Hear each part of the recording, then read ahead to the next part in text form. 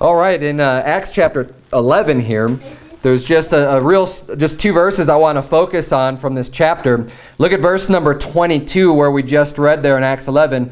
The Bible says, Then tidings of these things came unto the ears of the church which was in Jerusalem. And they sent forth Barnabas that he should go as far as Antioch, who when he came and had seen the grace of God was glad and exhorted them all that with purpose of heart they would cleave unto the Lord. Now I want to, this sermon, I, I really wanted to try to speak to your hearts this morning. Because what we're going to be doing, what I'm going to be preaching on is a, is a matter of your heart. And I would like to be able to hopefully preach a sermon, maybe something similar to what Barnabas was preaching when Barnabas went unto these people. Because it says here that when Barnabas came, he came to this group of people, he saw the grace of God, he was glad, and he exhorted them all. And an exhortation is something where you're, you know, you're, you're trying to build people up. You're exhorting them to do good. You know, you want to encourage people. And hopefully this sermon this morning will be an encouragement to you and an exhortation. And what was he exhorting them to do? It says that with purpose of heart they would cleave unto the Lord. Now we're going to spend a little bit of time, a lot, quite a bit of time actually on that word cleave. Because first of all, it all has to start with your heart. And notice he says, you need to purpose, with purpose of heart they would cleave unto the Lord. So you need to, to decide for yourself. It's a decision that you're going to make what you're going to, how you're going to direct your heart. What, what are you going to set your heart on? It's a conscious decision to purpose your heart. It doesn't happen by accident. To set your heart to follow the Lord, to set your heart to do what's right, to set your heart on those things, you have to decide that that's something that you want to do. It's not, again, it's not something that's going to happen by chance. You have to make that decision. And the decision ought to be the purpose your heart to cleave unto the Lord. I love that word cleave. The, the King James Bible uses such great language. It's, it's the height of the English language in, in the words that are used here, you know, this is the type of language that like Shakespeare used, and, and it's, it's so much better than, than, our, than the common language even today.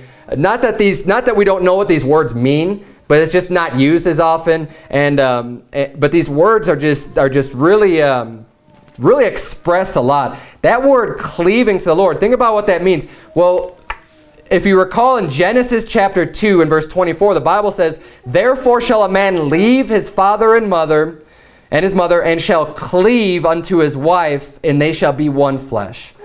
So in that instance, we're talking about cleaving it's about leaving your family, you know, departing from your mother and your father and cleaving unto your wife. I mean, think about that relationship. You cleave unto your wife, you two become one flesh. You are one person. You you you join yourself to them and cleave. I think of like cleaving, like clinging, like like you're gonna you you stay together. You you're so close. You're like one flesh. That's when you cleave to them. And we need to purpose our hearts to cleave unto the Lord, to not want to be like, well, God, you know, I kind of like the Bible, I kind of like what you have to say, but I, but I also want to do this other stuff. No, we need to purpose our hearts that we're going to cleave unto Him, that we're going to love God, we're going to stick close to Him, and we're going to just, you know, get our hearts right and say, whatever it is you want me to do, God, I want to cleave to you. I want to do what's right so much, I'm just going to stick with you, right? And that's, that's basically what he's exhorting the people to do. And that's what I want to exhort you to do this morning. Cleave unto the Lord. It's a crucial decision to make. And this is like probably the biggest decision that you need to make after you get saved. The biggest decision of your life is just, is just putting your faith in Christ to save your soul from hell. That is the number one thing that needs to be done. That is the most important thing that needs to be done in our lives. But after that, deciding that, okay, now that I'm saved, now that Jesus has saved my soul, what am I going to do with my life? What, what am I going to set my heart on? What am I going to spend my time doing? You need to cleave unto the Lord. And in order to do that, in order to get close to God, because a lot of times, and this is popular preaching today for people to say, well, I have a, you know, I don't have a religion, I have a relationship, and they want to get close to God. But unfortunately, a lot of people don't understand what that even means getting close to God. It's not just some feeling that you have inside of your heart. I'm not saying getting close to God isn't going to give you a good feeling, right? But it's that's not all it is. And that's not, you know, getting close to God isn't defined by just how do you feel inside of you. I mean, we, we as human beings, we have experienced emotions and feelings for all kinds of different reasons. Hey, there's a lot of people that get good feelings in their hearts and they're doing completely the wrong thing. You can't just base everything, or especially how close you are with God, based on a feeling that happens inside of you. Okay? We need to determine how close we are to God based on what the Bible says. And in order to get close to God, in order to draw nigh unto Him, we need to be, essentially, we just need to obey Him and do what He's told us to do. And it only makes sense. Think about a relationship. Again, God is our Father. If you're born again, God is your Father.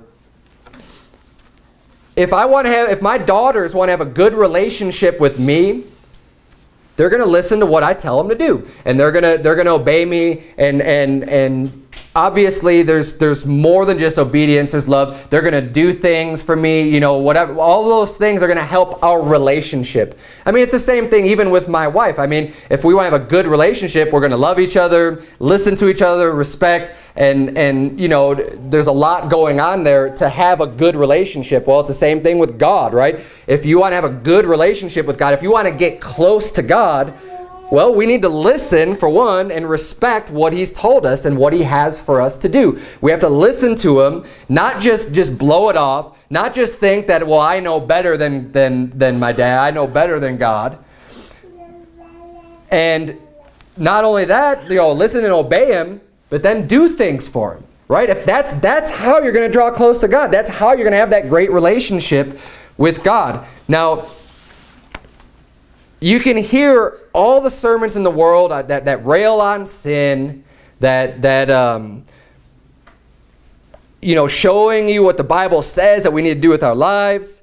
But if you don't have it in your heart that you're truly going to just love God and do what he has you to do, none of those sermons are going to mean anything. I mean, you can hear you can hear God's word all day long. You can hear it being preached. You can hear it being preached. And, and you can be in the best church in the world with the most spirit-filled person. You can be listening to the Apostle Paul. You could be listening to the Apostle Peter. And it's not going to do you any good if you haven't made the decision in your heart that, you know what, I want to know what God has for me to do because I want to please Him and I want to serve Him and I want to do what's right. You have to have that decision made in advance in your heart in order for God's word to have any positive impact in your life and to do that which is right, it's everything else is going to be meaningless.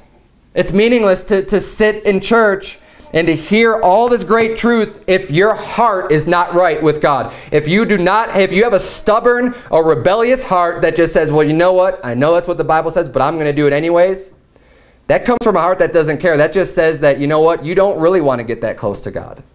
That's what that tells me. That's what that, that's what that should tell you. If you, could, if you could sit here and listen and say, you know what, this is what the Bible says and I don't care.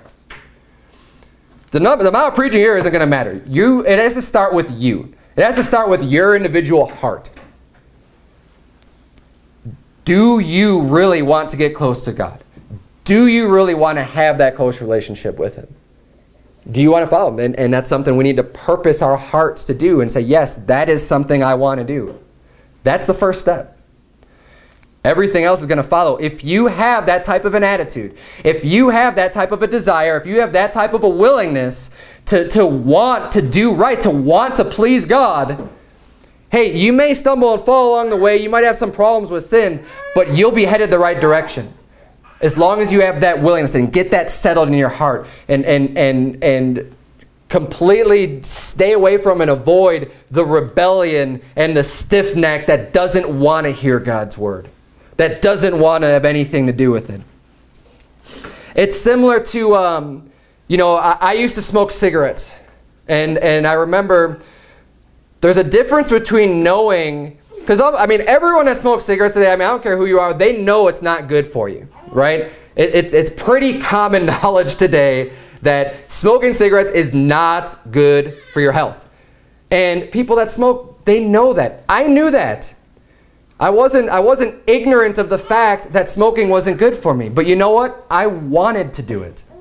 And even though I knew I should quit, and if someone asked you you should quit, I'd be like, yeah, I should quit. You know that. But it's not until you actually want to that you're going to do it. Amen. Right? It's, it's, it's something that I had to choose. You know what? I don't want to do this anymore. I want to stop doing this. And that's when it happens. That's when, and, and you know what? Maybe you struggle with it. Maybe it is a hard time. Maybe, maybe you slip and you fall, but you know what? You're headed the right way and, and, you're, and, you're, and you're making the attempts to clean up your life. And as long as you keep that desire, hey, you could achieve that.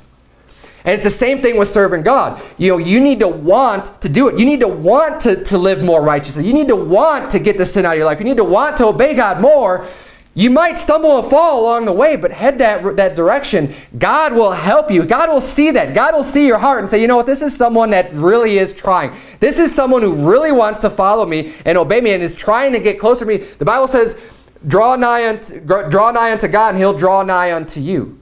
So if you're trying to get closer to God, hey, it's not just going to be like God's over there and you have to go this whole way to him. He says, if you draw nigh to me, draw nigh means getting close. If you get closer to me, I'll come closer to you. So he'll come and he'll start meeting you halfway.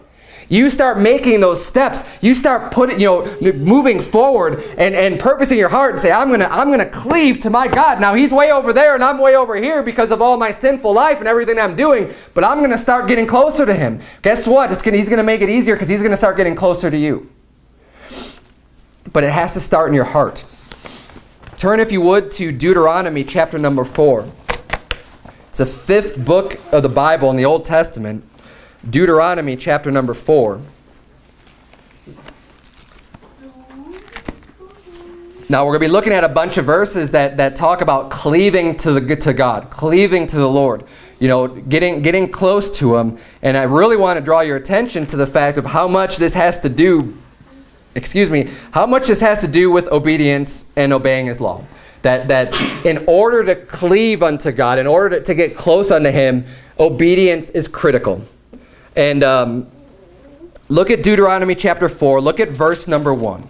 We're going we're gonna read quite a bit of this chapter. Verse number 1 starts reading, Now therefore, hearken, that means listen, O Israel, unto the statutes and unto the judgments which I teach you, for to do them, that ye may live, and go in and possess the land which the Lord God of your fathers giveth you. Saying, listen to the statutes, listen to the judgments. Those are the commandments. The statutes, statutes are laws. Right? He's saying, listen to the laws, listen to the judgments, so you can live.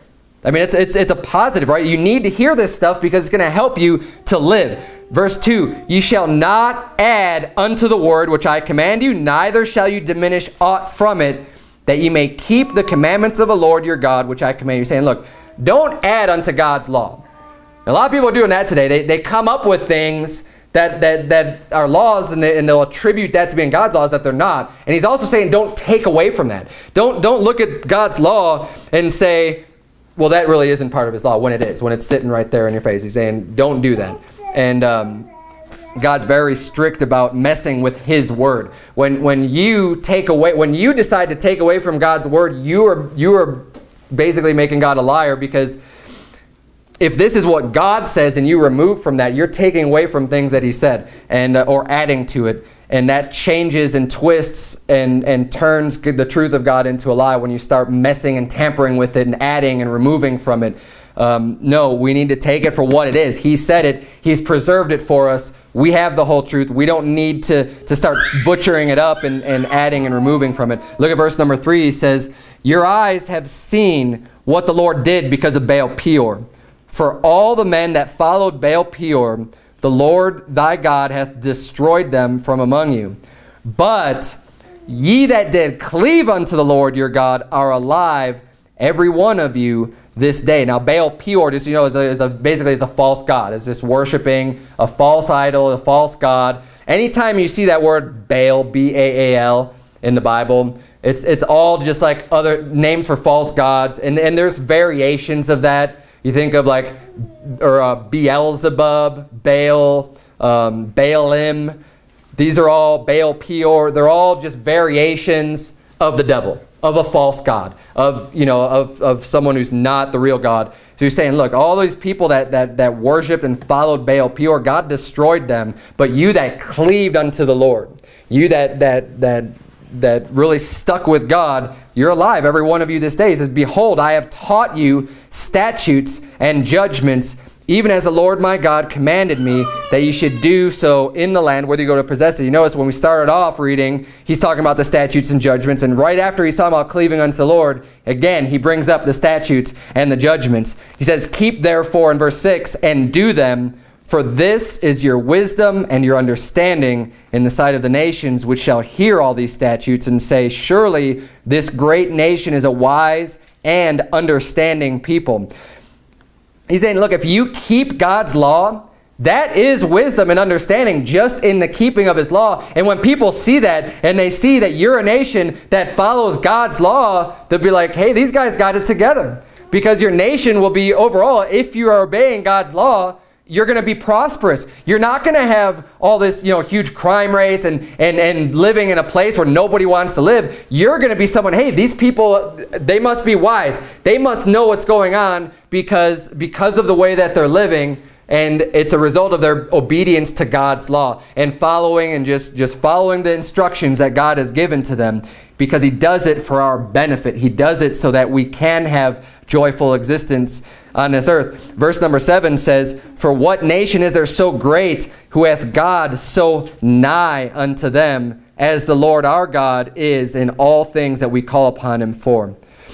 And what nation is there so great that hath statutes and judgments so righteous as all this law which I set before you this day. Again, verses 7 and 8 there, he says, What nation is so great that has God so close to them, so nigh unto them? And then he says, that repeats the same exact thing, except replaces God being close to them with having statutes and judgments that are righteous as the law that God gave them. Getting close to God is, is completely tied in with following and obeying his statutes and his judgments and his commandments. Verse number 9 says, Only take heed to thyself and keep thy soul diligently, lest thou forget the things which thine eyes have seen, and lest thy, they depart from thy heart all the days of thy life, but teach them thy sons and thy sons' sons. This is important. These laws are important. You need to keep them diligently. You need to make sure that you're going over it again and again and again, and that, that they're in your heart, and that you don't forget them, and you don't just keep it to yourself. You teach it to your sons and to your sons' sons. You teach it to the next generations going forward. Hey, this law is important. This is the way of life. You need to know this stuff and, and treat it as such and be diligent about it. Don't be slack. Don't be lazy about it. Don't be lazy in your Bible reading. Make sure you're reading and in this book daily and that you're keeping diligent to it because in, this is the, these are the words of life. These laws are going to bring you close to God. These statutes, this is wisdom. This is going to help you get close to God. You're in Deuteronomy chapter 4. Flip, if you would, just to chapter number 10, a few, few pages to the right.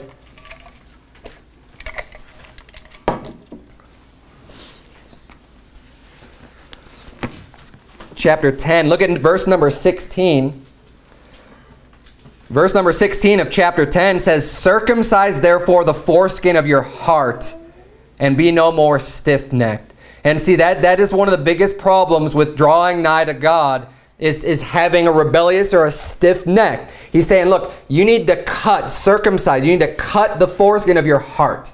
You need to open up your heart to God. You need, you need to make sure that whatever hardness that you have in your heart that, that, that is resisting God and resisting His Word and resisting the things that, that He has for you to do, you need to cut that open and don't be so stiff-necked. Submit yourself to His authority. Submit yourself unto God and just say, okay, I'm done fighting with you, God. I'm not going to be a rebellious child. I'm just, I'm, I'm just going to listen to what you have me to do and, and, uh, and I'm going to obey you. Jump down to verse number 20. It says, Thou shalt Fear the Lord thy God. Him shalt thou serve, and to him shalt thou cleave and swear by his name. He is thy praise, and he is thy God, that hath done for thee these great and terrible things which thine eyes have seen. Now, he's saying, first of all, you need to fear God and serve him right? We're, we're God's servants. He's our, he's our master. He's our Lord. We need to do the things that he has to do, and we need to have the proper fear and respect of God and of his word and what he's told us to do and cleave unto him. It says he is thy praise. So he's, you know, we should be thankful and happy because it's not just that God is a tyrant, right? People look at these words and, and they don't like it because it says, oh, I need to fear God and serve him. And they think, but God's loving. Why should I have to do that? Yes, God is loving. And that's actually all the more reason why we should want to serve him because of his grace, because of his mercy. That's why he says, He is thy praise and he is thy God that hath done for thee these great and terrible things which thine eyes have seen. He's done all these things where He's done these great wonders. He's done these great miracles. He's helped you out so much. Hey, if you're saved today, He's given you eternal life. You ought to want to serve Him. You ought to want to please Him and do what's right. He gave you something that you can never get on your own. He gave you free, eternal life, and He paid for it. He paid a heavy price for you to be saved. Is it really that much to ask that you that you just want to serve him and do what he's, he, he has for you to do when he showed you such great kindness and mercy and love? God is completely worthy of our obedience and of our praise and to be joyful. He is completely worthy of that. It shouldn't be hard to want to cleave to God and to want to serve Him and to want to please Him when you consider how merciful and long-suffering He is towards us. And it truly is a stiff neck when a person can take a look at themselves and understand you know what the Bible says about their sins. And if you're saved, you should know this. You should know that your sins are, are, bad enough for you to go to hell. And it really is someone who has a stiff neck to, to be able to know about how, how bad your sins are and how loving God is to provide forgiveness to wipe away those sins for all of your wickedness and then to turn and to not want to do what he has commanded us to do. Having all of that knowledge, having knowing of what you've done and knowing that he's forgiven it. He's wiped it away. And to still, I don't want to serve God. I don't want to do that. That's a stiff neck. That's rebellion. That, that's, that's, that's not a good attitude to have. I'll tell you what, that is not cleaving unto the Lord at all. And, and that is just going to, that is going to be something in your life that's going, that's just going to cause more and more bad things to happen. When you have that type of, of stiff neck, I mean, think about, you could think, I think about my own children. Again, if they have a rebellious heart and they don't want to listen to me, and they don't want to obey, they are not going to have a very good existence in this household. It's not going to be, you know, good. Okay, good. Yeah, they're going to be fed. They're going to be loved. They're going to be, you know, cared for. But it's not going to be very pleasant for them. Let's put it that way. They are not going to be having an enjoyable experience at home if they just are rebellious every day and they don't want to serve me, they don't want to do what, what, what, i what, I, what I tell them to do. Now, does that mean I'm some tyrant? No, of course not. I'm not just, I mean, anyone who knows me and knows our family, I don't, you know, we're, we don't just, just, they're not our slaves, right? But they are here. We, we are the parents. We are in authority, and I'm going to give them rules because I love them, and I want them to, to turn out right and not turn into monsters who just who just think about themselves and, and go about you know doing whatever they want, not caring about anyone or anything else but themselves. And that is that is that is why we have the rules for them. It's for their own benefit, but they are not going to be having very much joy and, and, and everything else if they decide to just disobey and just be stiff-necked and not appreciate what we do for him and not appreciate the love and, and the mercy and everything else that we show him. God's the same way. Okay? You are not going to have a very joyful existence on this earth if you have that stiff neck if you say, I don't want to do, God, what you want me to do, I don't want to listen to it, and, and I, I know you've given me eternal life, I know you've done all this stuff for me, but I just want to keep sinning. I just want to keep drinking. I just want to keep doing whatever. I just want to keep doing that because I like it. And I just want to do it. That's not going to be good for anybody. That type of you, you think, you know, we, we like to cling to our sins because you're, you have an addiction or whatever, you, you like to clean them, you think that, that, that it's something you really want to do, and ultimately it's just hurting you. Ultimately, it's just destroying you. You need to get the proper perspective on that sin. You might think, but no, but I feel good. No, I need to do this. This is what, you know, no, you don't. And actually, if it's a sin, it's not good for you at all. And, and Satan has just deceived you into thinking that, that it's something enjoyable or something good. When if you get it out of your life, you will realize how much that really does have a, bad influence on your life. Um, what, whatever the sin may be, I'm being kind of generic with sin, but, but whatever it is, if it's a sin, it's against God's commandments, it's against His rules. God made the rules for a reason. And it's not just to, to make sure that you have no fun in this life. it's for your benefit. It's, it's so that you can, you can grow and, and really have true joy in your life. You start getting rid of the chemicals and, and other you know, things that are, that are ungodly that, that give you joy. When you start getting rid of that, you start getting true joy in your life when you follow what, what he has prescribed for us to do. That's when you start getting an understanding this is what true joy really is. It doesn't come from a bottle. It doesn't come from a pipe. It doesn't come from any of these other things.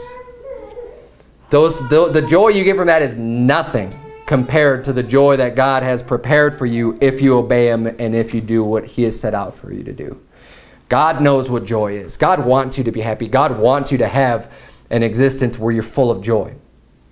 He really does. And he's, and he's told us how we can do that, but it's up to us to listen to him. It's up to us to cleave unto him. You're in Deuteronomy chapter 10. Flip over one more chapter, chapter number 11. I'm going to try to blow through this one a little bit more quickly. It's basically, you know, there's a lot, a lot of reiteration, a lot, a lot, and I just want you to, this, I'm going to all these verses because I want you to see the correlation between cleaving unto God and obeying his commandments. They, they go hand in hand. Look at verse number 18 of Deuteronomy chapter 11. The Bible reads, Therefore shall you lay up these, these my words in your heart and in your soul, and bind them for a sign upon your hand, that they may be as frontlets between your eyes. And you shall teach them your children, speaking of them when thou sittest in thine house, and when thou walkest by the way, when thou liest down, and when thou risest up. And thou shalt write them upon the doorposts of thine house, and upon thy gates, that your days may be multiplied, and the days of your children, in the land which the Lord sware unto your fathers to give them, as the days of heaven upon the earth you see, and then he says, look at verse number 22, For if you shall diligently keep all these commandments which I command you to do them, to love the Lord your God, to walk in all his ways, and to cleave unto him, then will the Lord drive out all these nations from before you, and you shall possess greater nations and mightier than yourselves. We start off there in verse 18. He's talking about how important God's word is, how important it is to, to lay up my words, lay up God's word in your heart and in your soul. You need to keep it that close to you. God's word needs to be in your heart and in your soul. He's saying, bind them for a sign upon your hands. He's like, have my words right at your hands. Have my words as frontlets between your eyes. Have them in front of you all the time. Have it at your hands. Have it in front of your eyes. Teach your children, speaking of them when thou sittest in thine house, so he's talking about teaching your children when you're sitting down in the house. Hey, when you're walking by the way, when you're out of your house, when you're out doing things, when you lie down, when it's time to go to bed, and when you rise up. He's basically saying all the time. All the time you need to be teaching your children this stuff. This is how critical God's word is. This is how important his commandments and his judgments are. That you need to keep it in your heart. You need to keep it in your soul. You need to teach your children all the time. You need to be teaching them from the moment you wake up to the moment you lay down to sleep.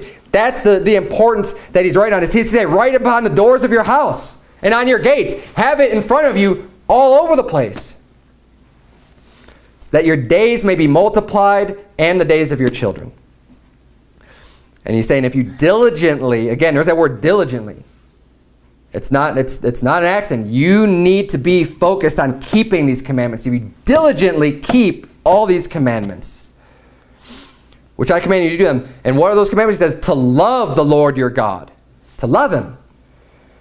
Walk in all his ways and to cleave unto him loving God, walking in his ways, doing what he's told us to do, obeying his commandments, and cleave unto him. Stick close unto him. That's what we need to diligently keep his commandments. He says, then he's going to bless you. Essentially, that's what I mean. Here, he's going to drive the nations out before you, you know, your enemies. He's going to conquer them all. He's going to fight for you. He's going to look out for you. He's going to bless you. That's the promise that you get by, by cleaving unto God, to loving him, keeping his ways. And that's where you're going to have true joy in your life. You have that victory. You have that victory in your life over, over all of your obstacles. It says in verse 25, There shall no man be able to stand before you, for the Lord your God shall lay the fear of you and the dread of you upon all the land that ye shall tread upon, as he hath said unto you. Verse 26, Behold, I say before you this day a blessing and a curse. A blessing if ye obey the commandments of the Lord your God, which I command you this day, and a curse if you will not obey the commandments of the Lord your God, but turn aside out of the way which I command you this day to go after other gods which ye have not known. He's saying the choice is yours. Do you want to receive a blessing or do you want to receive a curse? It's up to you. That's a decision you have to make. Do you want to cleave unto God? Do you want to obey Him? Do you want to love Him and, and just do what He has for you to do and be blessed and, and have God fight for you and have God, you know, come close to you and you can be close to Him? Or do you want to be cursed? Do you want to say, you know what, I'm going to have a stiff neck and I want to just do all these other things. I don't want to listen to what you have me to do. I don't care what you say in the Bible and I want to receive that curse. It's a pretty easy choice if you ask me. okay, uh, it's uh, but but the you know the decision is up to you. And it's reiterated many times throughout the Bible. We've already seen a, a few places. We're not going to go to all of them. It's a common theme in the Bible, but it's a decision for us to make. And you know what? This decision, it's not even necessarily one that you're going to have to make one time in your life. Now, hopefully you only have to make this decision one time. Okay?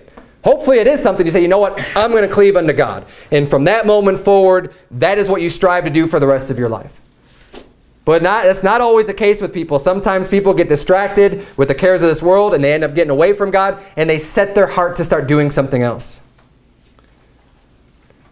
We need to be diligent about this.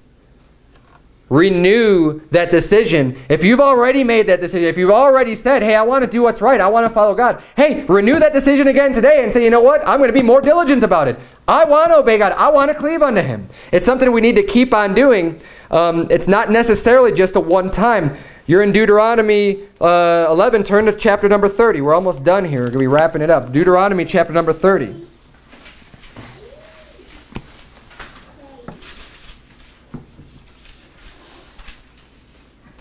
We're going to see one more, one more verse here about cleaving unto God in Deuteronomy chapter 30. Uh, look at verse number 15. He says, See, I have set before thee this day life and good, and death and evil. Again, the decision's yours. Verse 16, In that I command thee this day to love the Lord thy God, to walk in his ways and to keep his commandments and his statutes and his judgments, that thou mayest live and multiply. And the Lord thy God shall bless thee in the land whither thou goest to possess it. But if thine heart turn away, so that thou wilt not hear, but shalt be drawn away and worship other gods and serve them, I denounce unto you this day that ye shall surely perish, and that ye shall not prolong your days upon the land, whither thou passest over Jordan to go to possess it. I call heaven and earth to record this day against you, that I have set before you life and death, blessing and cursing. Therefore choose life, that both thou and thy seed may live, that thou mayest love the Lord thy God, and that thou mayest obey his voice, and that thou mayest cleave unto him, for he is thy life and the length of thy days, that thou mayest dwell in the land which the Lord sware unto thy fathers, to Abraham, to Isaac, and to Jacob, to give them. We need to cleave unto God because he's your life. Cleave unto God as you would cleave unto life. That, that is how we need to approach him. And I mean, hey, God gives us that choice. That's your decision. It's your decision to make. He's like, I've, I put it before you. There's life and there's death. The choice is yours. There's blessing, there's cursing. Do what you will. It's your will that's going to do it. And that's what I'm preaching to this morning is your will, your heart. What is your where is your heart at?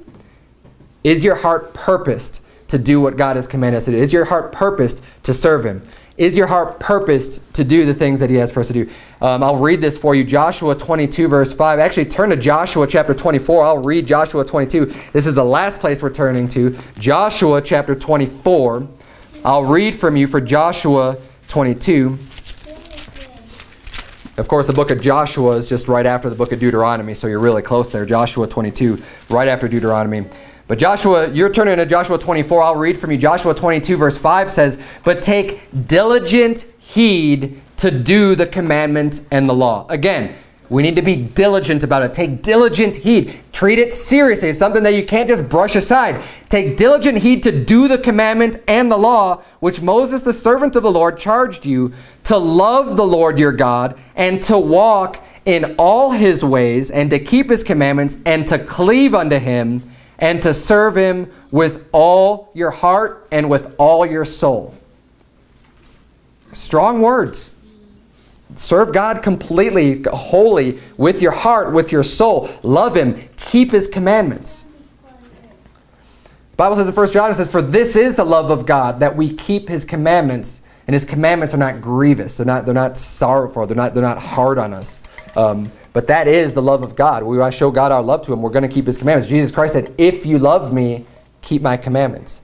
That is how we love God. That is how we get close to him, is by obeying him and keeping his commandments and doing what he's told us to do. You're in Joshua 24. Real famous passage. We're going to close with this. The choice is yours this morning. Joshua 24. Look at verse number 14 of Joshua 24. This is, this is Joshua speaking right at the end of the book of Joshua. He says, Now therefore, Fear the Lord and serve him in sincerity and in truth. And put away the gods which your fathers served on the other side of the flood and in Egypt. And serve ye the Lord. And if it seem evil unto you to serve the Lord, choose you this day whom ye will serve. Whether the gods which your fathers served that were on the other side of the flood, or the gods of the Amorites in whose land ye dwell. But as for me and my house, we will serve the Lord. And that's what we're looking to do this morning is decide in your heart who you're going to serve. Are you going to serve yourself? Are you going to serve your flesh? Are you going to serve the God of money? Or are you going to serve the Lord? Jesus Christ. Are you going to serve God? Are you going to serve what, what he has for us to do? Hey, the choice is yours. It's not going to, it doesn't matter to me what you choose. I mean, I, I care about you. I want you to choose the right thing, but that's the choice is up to you. God's given you that choice. Who are you going to church? Who are you going to serve? Hey, as for me and my house, we will serve the Lord. Let's keep reading there. Verse 16 it says, And the people answered and said, God forbid that we should forsake the Lord to serve other gods. For the Lord our God, he it is that brought us up and our fathers out of the land of Egypt from the house of bondage. Hey, God saved us. He brought us out from sin. They're saying, look, God forbid that we should, we should serve anyone else, which did those great signs in our sight and preserved us in all the way wherein we went and among all the people through whom we passed. Verse 18, And the Lord drove out from before us all the people, even the Amorites which dwelt in the land. And therefore will we also serve the Lord, for he is our God. And Joshua said unto the people, Ye cannot serve the Lord, for he is an holy God. He is a jealous God. He will not forgive your transgressions nor your sins. If ye forsake the Lord and serve strange gods, then he will turn and do you hurt and consume you. After that, he hath done you good. They're saying, look, okay, you're saying you want to serve God. But if you say that, if you're just going to give God lip service and then you're going to turn around and then you're going to just start serving other gods anyways, and you're just saying that you're not going to truly do it, he says you better be careful that making that decision to serve God because he's saying if you forsake the Lord, then he's going to turn, he's going to do you hurt. He's going to come back and, and He's already done good to you, but he's going to come back and consume you. And that's the warning that he's given them. But then they respond verse 21 says, And the people said unto Joshua, Nay, but we will serve the Lord. And Joshua said unto the people, Ye are witnesses against yourselves that you have chosen you the Lord to serve him. And they said, We are witnesses. Now therefore put away, said he, the strange gods which are among you, and incline your heart unto the Lord God of Israel. And the people said unto Joshua, The Lord our God will we serve, and his voice will we obey. Now that's what we all ought to have. We all ought to have that type of an attitude. Now, did they all do that? No. That's not what they ended up doing. Now, I'm sure many of them did, but as a whole, they ended up going back and serving other gods. But the choice is yours individually to serve the Lord your God, to cleave unto him, to, to get close unto him. And, and there's, I mean, there's, there's no, he is worthy. There's no greater joy that you can have than, than, than being in God's will, letting him direct your steps, obeying his commandments, and, um, and serving him. But, but hopefully something that was said this morning has reached through to you and that you can decide in your heart, say, you know what? I truly do love God. I am very thankful for what he's done for me. I appreciate and love the fact that he is merciful, that even though I've screwed up so many times, he's extended mercy unto me. He's given me eternal life. I am very thankful for that. And because of that, I am going to choose now to love God and, and, to, and to just show him how thankful I am. And I'm going to serve him. And I, I may not be perfect, but I'm going to try with all of my heart to serve God because he deserves it. He deserves more than that. But I'm going to at least try to give him that. And, and I'm going to listen to his word. I'm going to listen to the preaching. I'm going to read the Bible. And I'm going to decide today that I want to cleave and get as close as I can to God. And that's going to come through just, just being diligent about keeping his word in your heart, reading it, and, and obeying it. Let's bow our heads in word of prayer. Dear Heavenly Father, Lord, I thank you so much for the Bible. Lord, you truly are amazing and, and merciful and, and wonderful, dear Lord. Um, you've done so much for us, so much that, that we probably don't even realize all the, all the ways in which you've worked in our life. I don't even think you get credit for all the great good that you've done in our lives, dear Lord. We don't, we don't even comprehend uh, uh all the times where you've, you've done us well. And we, we appreciate that you, you, you do it anyways. And we can't be thankful enough for the fact that you've given us a free gift of salvation, dear Lord. I pray that you would please stir our hearts this morning. Help us to put you first in our lives, dear Lord, that we would no matter what, we're going to serve you and obey you and do what you have for us to do. We know that you love us. You've already proved it to us. So there's no reason for us not to, to listen to you and obey your commandments, dear Lord. Uh, and uh, I, I, just pray that you would please help our church to grow. Help our entire church to have this attitude, to have, to have our hearts right, that we would be purposed, and that we would keep our hearts diligently to serve you. It's in Jesus Christ's name we pray. Amen. Amen.